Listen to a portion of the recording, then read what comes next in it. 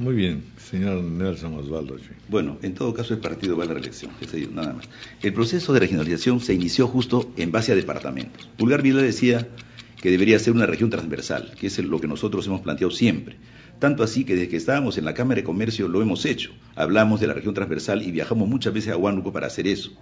El hecho de que Álvarez haya tratado de hacer una región con Huánuco no significa que nos corte la posibilidad de entablar relaciones comerciales, porque precisamente lo que tenemos, estamos haciendo ahora es eso, mientras se crean las regiones, que va a pasar muchos años, vamos a tenemos que tener contactos y, negocios con las regiones vecinas. Nosotros, por ejemplo, fuimos los gestores de la cartera Guabra en Churín Y justamente Roque Benavides dijo en la inauguración de la cartera Churín gracias a las anteriores autoridades, que esta cartera se ha hecho realidad. Entonces mencionó mi nombre incluso. Entonces hemos trabajado hasta Ollón. Pero nuestro compromiso es en el próximo periodo de enero del 2015 vamos a trabajar para que esta carretera llegue a Huánuco y Ucayali y posteriormente a Brasil. La ventaja que tenemos nosotros es que hemos trabajado los cinco ejes transversales. No solamente trabajamos este eje, trabajamos el de Lima Canta, que usted lo conoce bien. Trabajamos el, eje Cañete, Lunaguaná, Chupaca, que va a llegar a, a, Junín. Trabajamos el eje Chancay, Guaralacos, que ya llegó a Acos y ahora tiene que llegar a Pascua, a Guayay. Y Barranca Cajatambo, que debe unirse a Ollón para llegar también a la bioceánica. La idea es que los nueve provincias lleguen a la bioceánica central y a la longitudinal de la sierra. ¿Todas están ya con carretera? No, todas están en proceso. En proceso. Por ejemplo, Guabra, en Churín, Ollón ya está, ya está en plena construcción. Lima Cante está en construcción.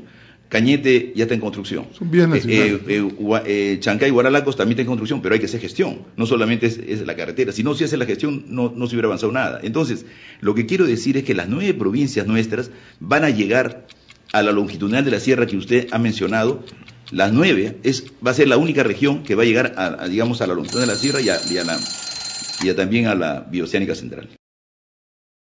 Lima Provincias tiene probablemente también una posibilidad de establecer, eh, en fin, eh, una serie de relaciones con las otras regiones, no solamente con Lima Metropolitana, ¿no es cierto?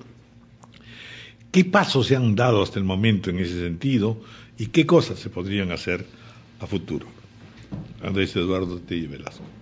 Bueno, en principio había siempre el interés de la región en unirse con Junín, Pasco, Huánuco y Arucayali, porque este eje que parte, por ejemplo, de Huacho y que debe tener un megapuerto que hasta ahora no se ha hecho ni siquiera los estudios y no se, no, no, se maneja el tema, este, tiene una carretera que es valiosa, pero que hoy día servirá simplemente para ir a los baños termales de Churín, y la idea es de que pueda llegar hasta el Brasil y lograr un tema de integración para el país y para la región, pasa necesariamente por ese camino.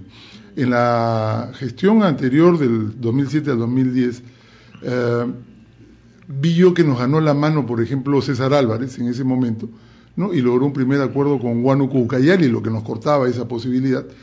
Eh, ya este tema ha quedado, en todo caso, después de una gestión totalmente en desuso, es una opción hay reuniones permanentes, pero del país también ha abandonado el tema de la descentralización, la región piloto y la creación de las macro regiones a las que yo le llamaría realmente regiones verdaderas, no se ha trabajado, ¿no?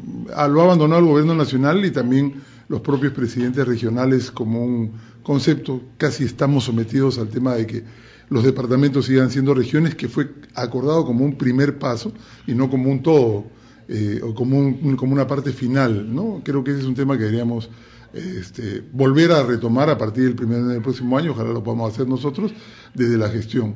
Y en ese tema yo también diría, quiero marcar una distancia y una diferencia.